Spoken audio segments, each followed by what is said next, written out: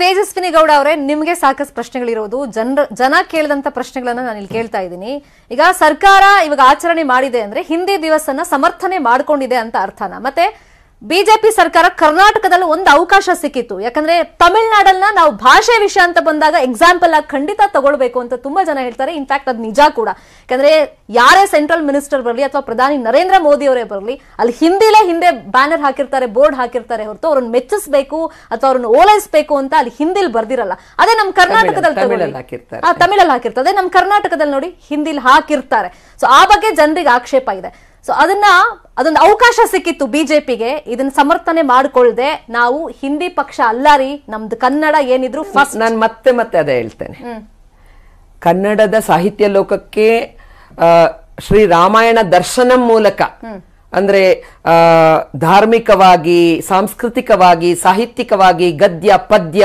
ಇವರು ಸುಮಾರು ಎಂಬತ್ತು ಎಕರೆಯಲ್ಲಿ ನುಗ್ಗೆ ಸೊಪ್ಪು ಬೆಳೀತಾರೆ ನೂರು ಗ್ರಾಮ್ ನುಗ್ಗೆ ಸೊಪ್ಪಿನ ಪೌಡ್ರನ್ನ ಸುಮಾರು ಆರ್ನೂರಿಂದ ಎಂಟುನೂರು ರೂಪಾಯಿಗೆ ಮಾರ್ತಾರೆ. ನೀವು ಶುರು ಮಾಡಬೇಕಾ? ಫ್ರೀಡಮ್ ಆ್ಯಪನ್ನು ಈಗಲೇ ಡೌನ್ಲೋಡ್ ಮಾಡಿ. ಆ ಸಾಹಿತ್ಯದ ವೈಭವವನ್ನ ತುಂಬಿದವರು ಕುವೆಂಪು. ಭಾರತ ಜನನಿಯ ತನು ಜಾತೆ ಭಾರತ ಜನನಿಯ ತನುವಿನಲ್ಲಿ ಹುಟ್ಟಿದವಳು. ಜಯ ಹೇ ಕರ್ನಾಟಕ ಮಾತೆ. ಆ ಒಂದು ರಾಷ್ಟ್ರ ಧರ್ಮದ ನಿಟ್ಟಿನಲ್ಲೇ ಕರ್ನಾಟಕ ಇರ್ತಕ್ಕಂಥದ್ದು. ನಮ್ಮ ನನಗೆ ಕರ್ನ ತಮಿಳ್ನಾಡಿಗೆ ತಮಿಳ್ನಾಡು ಸಾಟಿ. ತಮಿಳ್ನಾಡಲ್ಲಿ ಏನೇನೋ ಹೋರಾಟ. ಇವತ್ತು ಅವರು ಧಾರ್ಮಿಕ ವಿಚಾರಗಳಿಗೆ ವಿರುದ್ಧ ಇದ್ದಾರೆ. ಬೇರೆ ಬೇರೆ ವಿಚಾರಗಳು. ಅದು ಭಾರತೀಯತೆಗೆ ವೈರುಧ್ಯವಾದಂತಹ ಅನೇಕ ವಿಚಾರಗಳಲ್ಲಿದೆ. ನನಗೆ ತಮಿಳ್ನಾಡು ಮಾದರಿ ಅಲ್ಲ. ಅವ್ರ ಭಾಷೆ ಈಗ ನನ್ನದು ಇಲ್ಲಿ ಶಾಸ್ತ್ರೀಯ ಭಾಷೆ. ಹೌದು ಭಾಷೆಯ ಅಭಿಮಾನ. ಭಾಷೆಯ ಅಭಿಮಾನ ಸರ್ಕಾರ ಮಾಡ್ತಕ್ಕಂಥದ್ದಲ್ಲ ಭಾಷೆಯ ಅಭಿಮಾನ. ನೀವೊಂದು ಕಾರ್ಯಕ್ರಮ ಮಾಡ್ತಾ ಇದ್ದೀರಿ ನ್ಯೂಸ್ ಏಟೀನ್ ಕನ್ನಡ. ಅದು ಅನ್ವಯ ಆಗತ್ತೆ. ನಾವಿವತ್ತು ಇವತ್ತು ಕರ್ಸಿದ್ದೀರಿ ತಜ್ಞರನ್ನು ಕರ್ಸಿದ್ದೀರಿ. ನಮ್ಮನ್ನು ಮೆಚ್ಚಿಸ್ಬೇಕು ಅಂತ ನಾನು ಹೇಳೋದಿಲ್ಲ ಭಾರತೀಯ ಜನತಾ ಪಾರ್ಟಿ ಒಂದು ರಾಷ್ಟ್ರೀಯ ಪಾರ್ಟಿ. ಭಾರತೀಯ ಜನತಾ ಪಾರ್ಟಿ ಇಡೀ ಭಾರತ ಏಕತೆಯಲ್ಲಿ ಅನೇಕತೆ. ಅನೇಕತೆಯಲ್ಲಿ ಏಕತೆ ವೈವಿಧ್ಯತೆಯಲ್ಲಿ ಏಕತೆ ಎನ್ನುವಂತಹ ರಾಷ್ಟ್ರ ಧರ್ಮವನ್ನ ಸಾರುವಂತಹ ಒಂದು ರಾಜಕೀಯ ಪಾರ್ಟಿ ಮತ್ತು ಸರ್ಕಾರ. ಹಾಗೇನೆ ಈ ಒಂದು ಒಂದು ಧರ್ಮವನ್ನ ಇಡೀ ಜಗತ್ತಿಗೆ ಹರಡಬೇಕು ಅಂತ ಹೇಳಿ ಈಗ ಹೊರದೇಶಗಳಲ್ಲೂ ಕೂಡ ಕನ್ನಡದ ಇದೆ. ನಾನು ನನಗೆ ಆಶ್ಚರ್ಯ ಆಯ್ತು. ನನಗೆ ನಿಜವಾಗ್ಲೂ ನಾನು ದೇವೇಗೌಡಜಿ ಅವರ ಮಾತನ್ನ ಹೇಳಿದ್ದು ನನಗೆ ಹೆಮ್ಮೆ ಇದೆ. ಅರೆ ನಮ್ಮ ಸುಪುತ್ರರೊಬ್ರು. ಹಾಗೆ ತುಂಬಾ ಜನ ಎಲ್ಲರದು ಉಲ್ಲೇಖ ಮಾಡಿದೆ.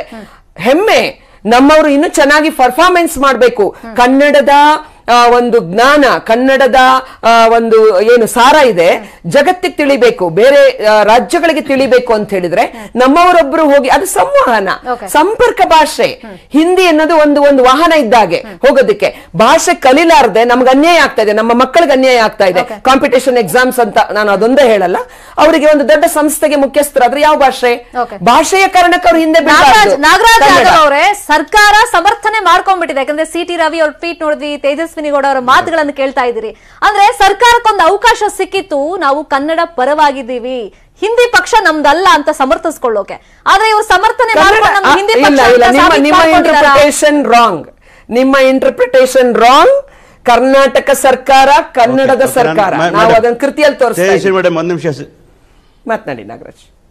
ಓಕೆ ಓಕೆ ನೋಡಿ ಮೇಡಮ್ ತೇಜಸ್ವಿ ಮೇಡಮ್ ಮಾತಾಡ್ತಾ ಹೇಳ್ತಾ ಇದ್ರು. ಕನ್ನಡಿಗರು ಎಲ್ಲಿದ್ರು ಕೂಡ ಕನ್ನಡ ಭಾಷೆ ಎಲ್ಲಿ ಬೇಕಾದ್ರೆ ವಿದೇಶ ವಿದೇಶಗಳು ಮಾತಾಡ್ತಾರೆ ಅಂತ ಹೇಳಿದ್ರು.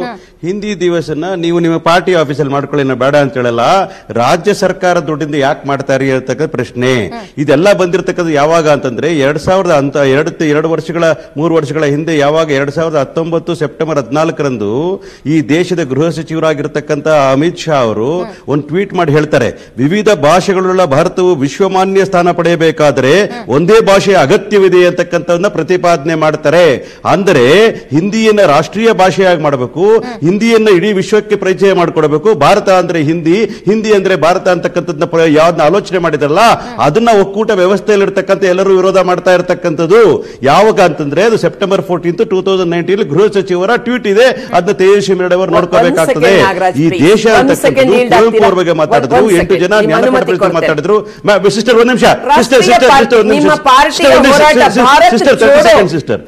ಭಾರತ್ ಜೋಡೋ. ಒಂದ್ ನಿಮಿಷ. ನೋಡಿ ನೋಡಿ ನೋಡಿ ದ್ವಂದ್ವ ಇರಬಾರ್ದು ನಿಮ್ಮ ನಿಲುವುಗಳಲ್ಲಿ. ರಾಹುಲ್ ಗಾಂಧಿ ಅವರ ನೇತೃತ್ವದಲ್ಲಿ. ನಡೀತಿರ್ತಕ್ಕಂಥ ನಿಮ್ಮ ಪೊಲಿಟಿಕಲ್ ಕಾರ್ಯಕ್ರಮ ಭಾರತ್ ಜೋಡೋ ಯಾಕೆ? ಇಲ್ಲ ನಾವು ಒಪ್ಕೊಳ್ಳಿಕ್ಕೆ ಸಾಧ್ಯ ಇಲ್ಲ. ರಾಜಕಾರಣ ಭಾರತ್ ತೋಡೋ, ಇಲ್ಲಿ- ಜೋಡೋ ಯಾಕೆ? ಅದು ಹಿಂದಿನ ಅಲ್ವಾ?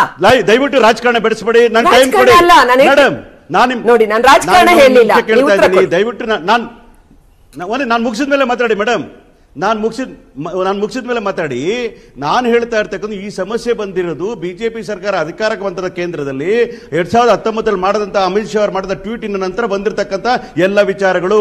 ನಾನು ನಿಮ್ಗೆ ಹೇಳ್ತಾ ಇರ್ತಕ್ಕಂಥ ಬ- ರಾಹುಲ್ ಗಾಂಧಿ ಅವರು ಯಾವ ಭಾರತವನ್ನ ಬಿಜೆಪಿಯವರು ಡಿವಿಸಿವ್ ನೇಚರ್ ಅಲ್ಲಿ ರಾಜ್ಯಗಳನ್ನ ಭಾಷೆ ಹೆಸರಲ್ಲಿ ಧರ್ಮ ಹೆಸರಲ್ಲಿ ಹೊಡಿತಾ ಇದ್ರು ಅದನ್ನ ಜೋಡಣೆ ಮಾಡಲಿಕ್ಕೋಸ್ಕರ ಕೆಲಸ ಮಾಡ್ತಾ ಇದೀವಿ ಹೊರತು. ನಾವು ಯಾವುದೇ ಭಾಷೆನ ಏರ್ಲಿಕ್ಕಲ್ಲ, ಆದರೆ ನಿಮ್ಮ ನಿಮ್ಮ ನಾಯಕರು ಹೇಳಿರ್ತಕ್ಕಂಥದ್ದು, ಈ ಭಾರತ ದೇಶಕ್ಕೆ ವಿಶ್ವಮಾನ್ಯದ ವಿಶ್ವಮಾನ್ಯದ ಸ್ಥಾನಮಾನ ಸಿಕ್ಬೇಕು ಅಂದ್ರೆ ಹಿಂದಿ ಭಾಷೆ ಇರಬೇಕು ಅಂತಕ್ಕಂಥದ್ದು ಯಾವ ನ್ಯಾಯ? ಅದನ್ನೇ ಹೇಳಿ ನೀವು ಹೋರಾಟಕ್ಕೆ ನೀವು ಬೆಂಬಲ ಕೊಟ್ಟಿಲ್ವಾ? ರಾಜಕಾರಣದ ಕಾರಣಕ್ಕಾಗಿ? ನಿಮ್ದೊಂದು ರಾಷ್ಟ್ರೀಯ ಪಾರ್ಟಿ ಅಲ್ವಾ? ನಿಮ್ದು ಹಿಂದಿಲಿ ಏನೂ ಇರಲ್ವಾ? ನಿಮ್ಮ ನಿಮ್ಮ ನಿಮ್ಮ ವ್ಯವಹಾರ ಎಲ್ಲ ಹಿಂದಿಲೇ ಅಲ್ವಾ ನಡೆಯೋದು? ನಾನ್- ಇದಕ್ಕೆ ನೀವು ನೀವು ಮಾತನಾಡ್ತೀರಾ ಅಂತ ರಾಷ್ಟ್ರ ಭಾಷೆ ಒಪ್ಕೊಳ್ಳೋದಿಲ್ಲ. ಈ ನಮ್ಮ ಭಾರತ ದೇಶ ಒಂದ್ ನಿಮಿಷ. ನಾನ್ ಒಂದು ನಿಮಿಷ ಮೇಡಮ್ ನಾವು ಹಿಂದಿನ ನಮ್ಮ ಭಾರತ ದೇಶ ಒಂದು ಭಾಷೆ ಅಂತ ಒಪ್ಕೊಳ್ತೀವಿ. ಅದು ಕನ್ನಡಕ್ಕೆ ಸಮನಾಗಿರ್ತಕ್ಕಂಥ ಭಾಷೆ ಅಂತ ಒಪ್ಕೊಳ್ತೀವಿ ಹೊರತು. ಅದು ಮಾತ್ರ ಶ್ರೇಷ್ಠ ಅಂತ ಹೇಳೋದಿಲ್ಲ. ಅದು ರಾಷ್ಟ್ರ ಭಾಷೆ ಅಂತ ಹೇಳೋದಿಲ್ಲ. ಹಾಗಾಗಿ ನಾನು ಹಿಂದಿಯನ್ನು ಗೌರವಿಸ್ತೇನೆ. ಇಂಗ್ಲಿಷ್ ಅನ್ನು ಮಾತಾಡ್ತೇನೆ ತಮಿಳನ್ನು ಮಾತಾಡ್ತೇನೆ ತೆಲುಗುನು ಮಾತಾಡ್ತೇನೆ. ಆಡಳಿತ ಭಾಷೆ ಕನ್ನಡ ಆಗಬೇಕು. ಹೇಳಿ. ಸೋನಿಯಾ ಮೇಡಮ್ ಇಲ್ಲಿಗೆ ಬಂದಾಗ ಯಾವ ಭಾಷೆಯಲ್ಲಿ? ಕರ್ನಾಟಕದಲ್ಲಿ ಹಿಂದಿ ಯಾಕೆ? ತಮಿಳ್ನಾಡಲ್ಲಿ ಇಂಗ್ಲಿಷ್ ಯಾಕೆ? ಅವ್ರು- ಒಂದ್ ಹೇಳ್ತೀನಿ ಕೇಳಿ. ನೀವು ನೀವು ಕಾಂಗ್ರೆಸ್ ಪಾರ್ಟಿ ಅವ್ರು ನಿಮ್ಮನ್ನ ಪರ್ಟಿಕ್ಯುಲರ್ ಕೇಳ್ತೀನಿ. ಕರ್ನಾಟಕದಲ್ಲಿ ಸೋನಿಯಾ ಮೇಡಮ್ ರಾಹುಲ್ ಗಾಂಧಿ ಅವರು ಹಿಂದಿಲಿ ಯಾಕೆ ಭಾಷಣ ಮಾಡ್ತಾರೆ? ಇದನ್ನೇ ನಿಮ್ಮ ತಮಿಳ್ನಾಡಲ್ಲಿ ಇಂಗ್ಲಿಷ್ ಅಲ್ಲಿ ಯಾಕೆ ಮಾಡ್ತಾರೆ? ಓಟ್ ರಾಜಕಾರಣ. ನೀವು ಲೋಕಸಭಾ ಸದಸ್ಯರಾಗಿದ್ದವರು ಈಗ ಪರಿಷತ್ನವರಾಗಿರೋರು ನೀವು ಹಿರಿಯರಿದ್ರಿ ನೀವು ಈ ತರ ಸಂಕುಚಿತ ಯೋಚನೆ ಮಾಡಬಾರದು. ಭಾಷೆಯಲ್ಲಿ ಮಾತಾಡಿದ್ರೆ ಅಮಿತ್ ಶಾ ಅವ್ರು ಬಂದು ಹಿಂದಿಯಲ್ಲಿ ಮಾತಾಡ ಹೋಗ್ಬೋದು ಕೇಳಲ್ಲ. ಒಂದ್ ನಿಮಿಷ. ಅಮಿತ್ ಶಾ ಬಂದು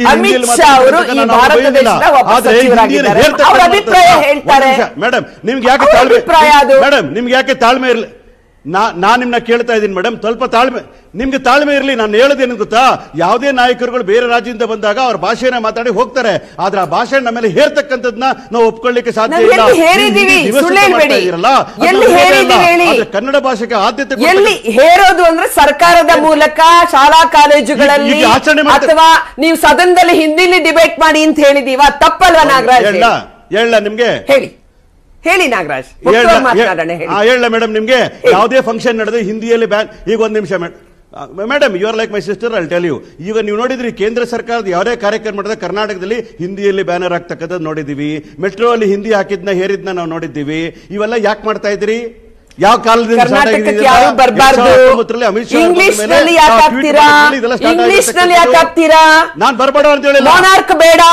ರಾಜಪ್ರಭುತ್ವ ಬೇಡ ಅಂತ ಹೇಳಿ ಗುಲಾಮ್ಗಿರಿ ಸಂಕೇತ ಅಂತ ಹೇಳಾಯ್ತಲ್ಲ ಇಂಗ್ಲಿಷ್ ಯಾಕೆ ಬೇಕು?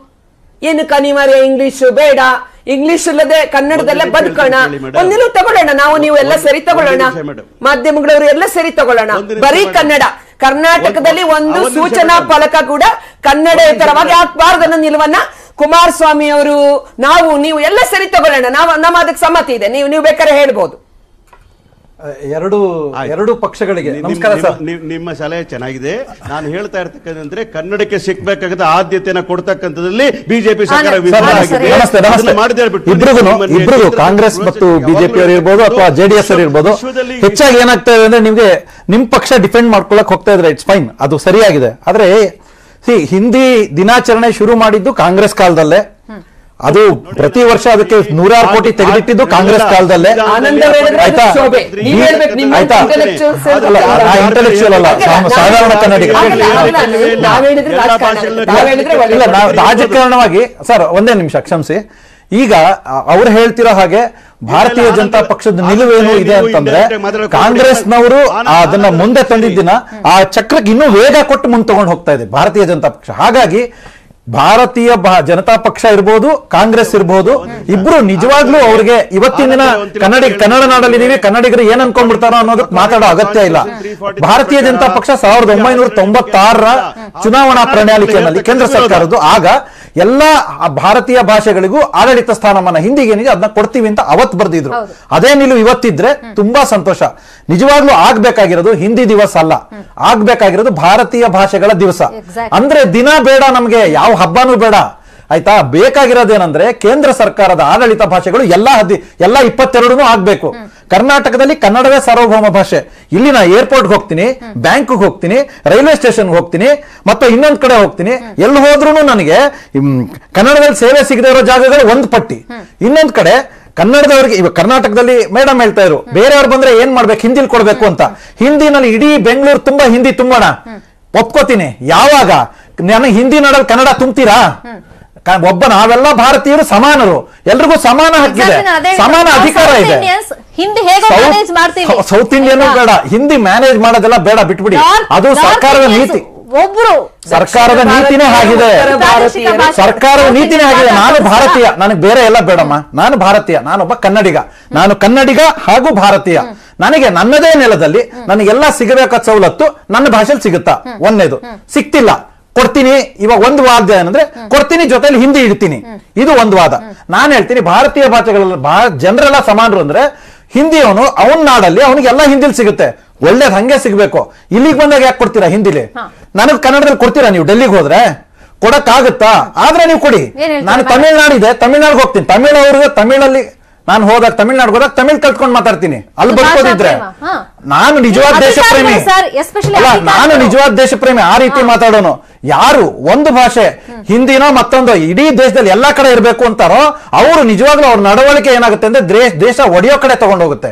ನೀವು ನಾವೆಲ್ಲ ಒಂದು ನಮ್ಮನೇನೋ ನಿಂದು ಅಲ್ಲ ನಿಮ್ಮನೇನೋ ನಂದು ನಮ್ಮನೇನೋ ನಂದು ಇದು ನಡೆಯಲ್ಲ. ಅವ್ರು ಇಲ್ಲಿ ಬಂದ್ರು ನಾವು ಹಿಂದಿ ಮಾತಾಡ್ಬೇಕು ನಾವೆಲ್ಲ ಹಿಂದಿ ಮಾತಾಡ್ಬೇಕು. ಅಕ್ಸೆಪ್ಟಬಲ್ ಅಲ್ಲ. ಈಗ ಸರ್ ಒಂದು ಒಳ್ಳೆ ಪಾಯಿಂಟ್ ರೈಸ್ ಮಾಡಿದ್ರು. ಇನ್ಫ್ಯಾಕ್ಟ್ ಅಧಿಕಾರಿಗಳ ಎಕ್ಸಾಂಪಲ್ ಕೊಡ್ತೀನಿ ನಾನು. ಅಧಿಕಾರಿಗಳು ಯಾರೇ ತಮಿಳ್ನಾಡಿಗೆ ಹೋಗ್ಲಿ ತಮಿಳ್ ಕಲ್ತು ತಮಿಳಲ್ಲಿ ಮಾತಾಡ್ತಾರೆ. ಆದ್ರೆ ಇಲ್ಲಿ ಬಂದಾಗ ಅವ್ರ ಲ್ಯಾಂಗ್ವೇಜ್ ಅಲ್ಲಿ ನಾವು ಕಲ್ತು ಮಾತಾಡ್ಬೇಕು. ಹೇಗೋ ಮ್ಯಾನೇಜ್ ಮಾಡ್ಬೇಕು.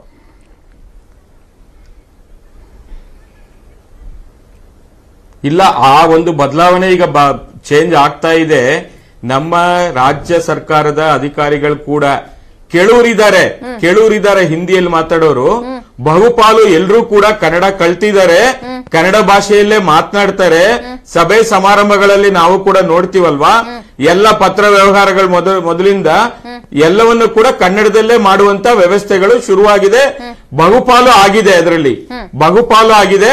ಅದನ್ನ ನಮ್ಮ ಇವರು ಆನಂದ್ ಅವರು ಹೇಳ್ದಂಗೆ ಭಾರತೀಯ ಭಾಷೆಗಳ ಒಂದು ಹಬ್ಬ ಆಗಬೇಕು. ಅವರವರ ರಾಜ್ಯದಲ್ಲಿ ಅವರವರ ಭಾಷೆಗೆ ಸಾರ್ವಭೌಮ. ಅದನ್ನು ಎಲ್ಲಾ ಸರ್ಕಾರಗಳು ಕೂಡ ತಿಳ್ಕೋಬೇಕು.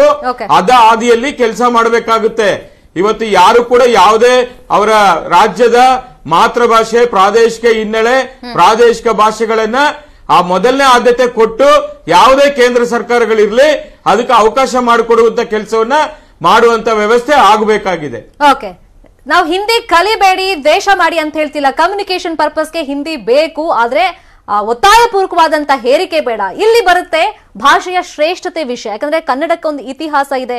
ನಮ್ಮ ಶ್ರೇಷ್ಠತೆ, ನಮ್ಮ ಮಾನ